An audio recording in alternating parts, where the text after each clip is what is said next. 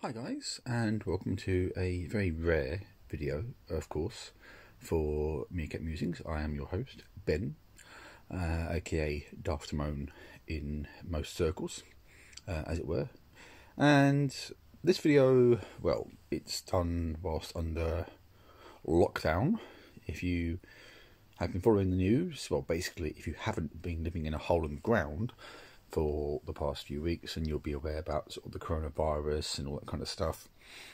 Here in the UK, we're in the middle of a lockdown for at least three weeks.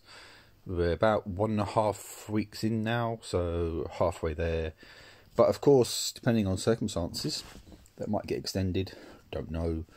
Playing the waiting game. I'm currently furlonged from work, so I am on um, 80% pay, which isn't too bad to be fair. But the main thing is boredom. I just feel like I'm in the way a little bit sometimes at home, and it's a case of trying to fill the time. Naturally, some time with the wife and daughter, obviously. Some exercising. In fact, I've just done some exercising. And just other bits and pieces, really. Trying to do some creative writing, trying to do these videos as well and some other bits and pieces really. Been doing some artwork, which is on the website. I apologise in advance because some of it's pretty scary. and just trying to stay busy, trying to occupy the time.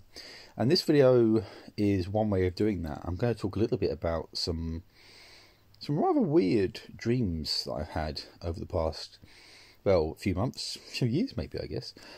Because there seems to be a recurring theme, namely the theme of zombies. Ooh, I know.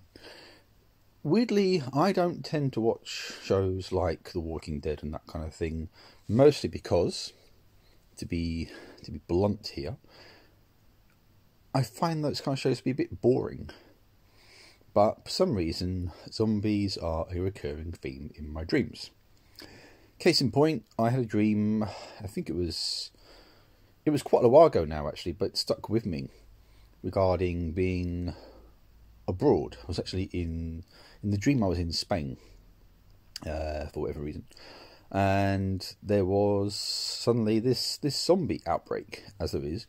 And I vividly recall one part of the dream where I was getting onto a plane, and I think I had to try and fly the plane like a big jumbo jet type thing because naturally it's one of my many skills. And zombies broke in, and to put it bluntly, they killed me and they ate me yeah, very cheerful. But then the dream reset itself. Lack of a better word, I had a do-over, where this time we were able to keep the zombies out of the plane and successfully take off and fly home. So that's one zombie dream. I had another one a few weeks ago where I was on the train with my family, uh, my wife and daughter, and there was mass panic because there was a horde of zombies up one end of the train that were trying to come forward through the train, and we're trying to keep ahead of them. Uh, again, no one brought that on at all. Just it was a normal dream and then zombies. And last night, again, uh, just briefly, for whatever reason, there was a, moment in a dream where I was in. I was in like this this shed or, or hobby room, and I was talking to some guy about a model railway set. And the next thing I know, his I don't know partner, apprentice, whoever was being eaten by zombies, but in like a cartoon kind of style. So yeah, weird, strange and a recurring theme in my subconscious for some reason. In fact, I've had a few dreams which could be described as, as horror dreams, really. I mean, there was one in some kind of abandoned warehouse setting involving creepy clowns.